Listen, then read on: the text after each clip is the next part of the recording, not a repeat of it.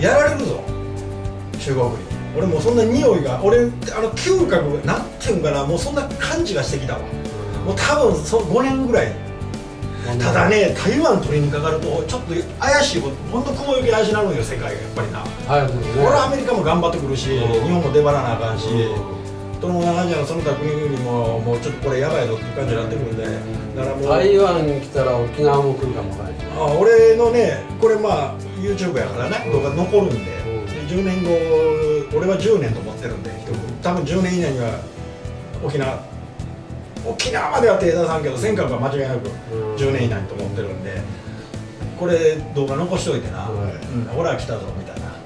俺はもう台湾はもうそろそろよ、うんもう香港行ったら次絶対台湾なんで、香香港も完全にあれやろね、うん、ただまあ香港の場合はある意味力ずくじゃなくてまあ多少ね、うん。そのデモみたいなものはあったけど怪我人も出たし多少死人もあったやろうけどそんな大きなものじゃなかった。うまいこともいいつの間にかみたいな感じですわ。英語されたんな、俺台湾はちょっとそんな簡単にはいかんと思うよ、うん。ある意味ちょっと力ずくでいかんとうん。取れんと思うんで。そりゃそうやね台湾はな、うん。落とそんな簡単に落とせんと思うから。笑ってるけどこれほんま見てるから何人ほんま少ない人から見てなくてもいいんでちょっと危ないぞとほんまにもう中国の動きが、中国すごいもんね。うん。本気よ。うもう。うん。まあな、うん。でこの間まあ中国の今日中国ネタでまたあれやけどんうん。電気自動車50万円新車。出たんよ、どっから？中国中国でこれはねこの辺に多分俺今日画像出すけど、うすごいよ。50万円で新車いいあの電気自動車。うん。軽軽よりもう少しちっちゃいコンパクトなんですわうん。日本の軽より。日本50万。日本だったら200万するわね。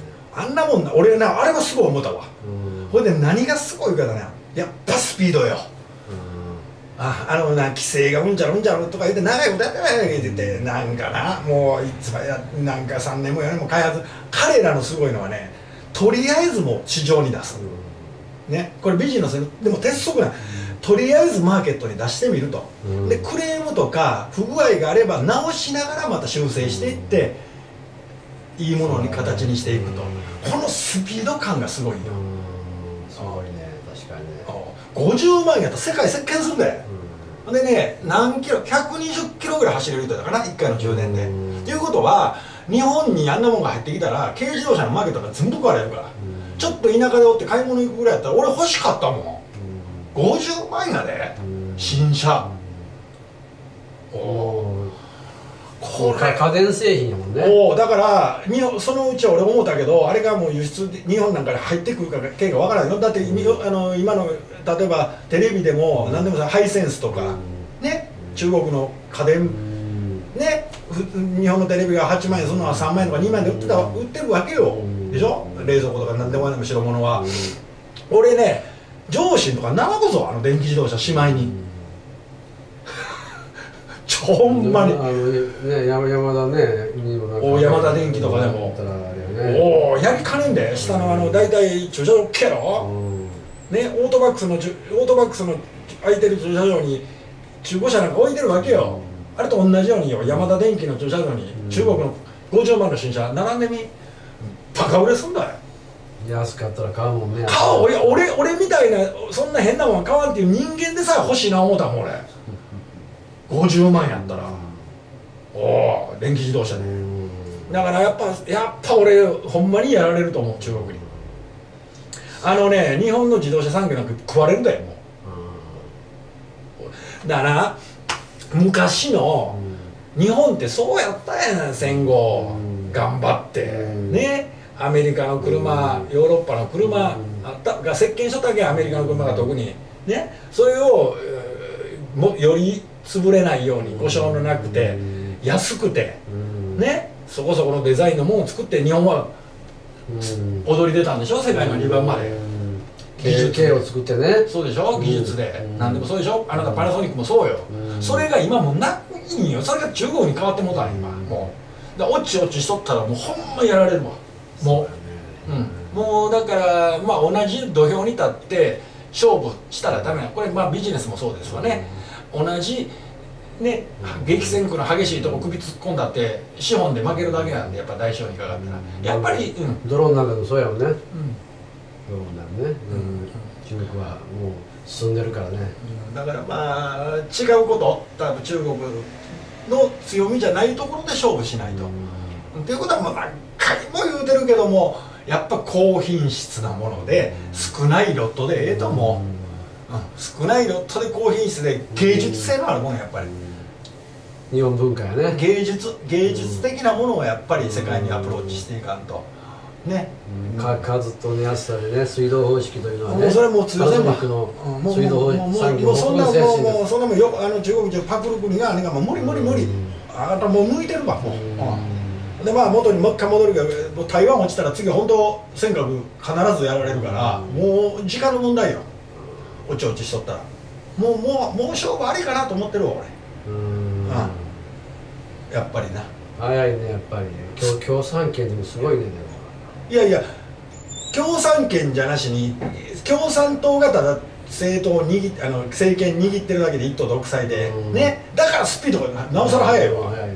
そうでしょ？それが、に要はな日本みたいに制度み国会でわけのわからんね。多数決やうんじゃうんじゃだったらほんなもんあっちまでもやられてまうん。よ、野党が文句言うてね。いろんなこと言うてはね、うん。で会社これもビジネスと一緒。会社。いいですかあんた、うん要はスピードのある会社っていうのはやっぱ独裁なんですよ。うん。社長の。孫さんもそうよ。うん。もう孫さんが右右行けとみんなバーン右行くわけよもう。それがスピードがなかったらうん。勝てないよアホみたいにな、うん。昔の会社みたいに役員会議や言うてな眠たい話5時間も6時間もやって多数決でやっとったらもうおいそんなことやってたらもうまあのんなんていうかな。もう今の流れにはもう追いつけないの全然。トップダウンよね。もうスピード。とにかくスピードがいるわ今は、うん、そうか、うんもうそこで同じようなことを勝負しないマーケットで勝ち上がるか。っていうかまあ自分のね、うん。自分のそのペースで、うん。そういうものを世の中に提供していくか。どっちかやもう、まあ本当すごいこの辺向かった人は中国人あの50万の車、あ今日はもう中映画何か聞きたかったんじゃうん今日。いやいいよそれで OK です。よ OKOK OK すごいよほんま中国。中国すごいわですごい。あのねミャンマーとかあれもね絡んでくるってかもわからんしねあれ。中こ国見えないれですけどねただ台湾の俺好きなんでな。